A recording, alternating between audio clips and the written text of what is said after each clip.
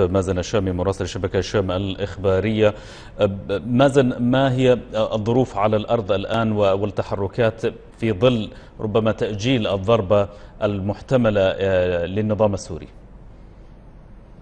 يعني رغم تأجيل الضربة لا زالت كتائب الأسد تقصف عدة أحياء من العاصمة دمشق وخاصة المحررة كأحياء جبر والخربون وبرزة برزة هذا الذي يشهد الأخير الآن قصف هو الأعنف مع اشتداد المعارك في محاولة لكتائب الأسد آه، لاقتحام آه، آه، هذا الحي بالتزاوج مع تنفيذ غارتين جويتين أيضا على نفس الحي حي بارزة.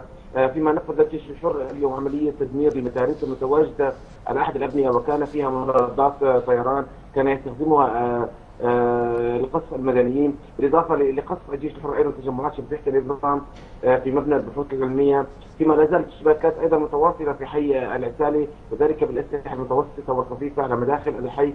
بالانتقال الريف الدمشقي لا زال القصف متواصل على عدة مدن وبلدات وخاصة دوما والمليحة وزملكة ومناطق القلمون كالرحيبة والنبت بالإضافة للغوطه الغربية كالمعظمية وداريه فيما تعرضت اليوم مدينة الرحيبة لأكثر من أربع غارات جوية استهدفت أطراف المدينة. آه، وأيضا غاره أخرى استهدفت مدينة المزارع في النبت بالإضافة في الاعنف في دارية والمعظمية والتي شهدت المعظمية محاولة اقتحام من الجبهة الشمالية على استطراد الأربعين مع سقوط صواريخ أيضا أرض أرض على منازل نعم. المدنيين.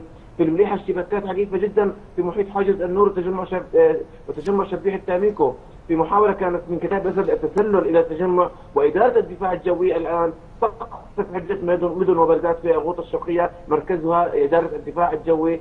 بالإضافة إلى قصف على بلدة حزبي في الغوطة الشرقية طيب يعني يعني في حال في حال استمرار الحال على ما هو عليه وعدم توجيه ضربة عسكرية هل هل هل تعتقد من أنه الجيش الحر أو التنظيمات المتجحفلة معه تستطيع أن تحرز تقدم أكثر في حال في في هذا الوقت؟ نعم بالفعل يعني إن شاء الله في الساعات القليلة القادمة سوف يصدر بيان سوف يهز النظام إن شاء الله وهو عن توحد آه، آه، لا نريد يعني ذكر هذا الإعلام حاليا لكن إن شاء الله هذا التوحد سوف يكون سوف يهز النظام وهناك عمليات نوعية في اقتحام عدة مناطق في العاصمة دمشق. مازن الشامي مراسل شبكة الشام الإخباري كنت معنا حول الوضع الميداني في سوريا شكرا جزيلا لك.